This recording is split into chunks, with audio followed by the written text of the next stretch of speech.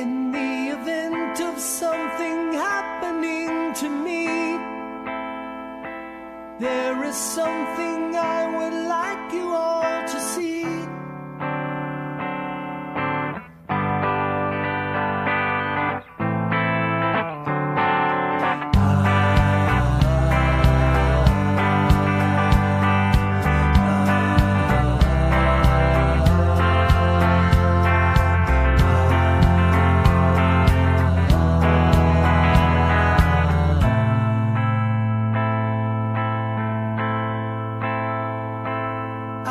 straining my ears to hear a sound.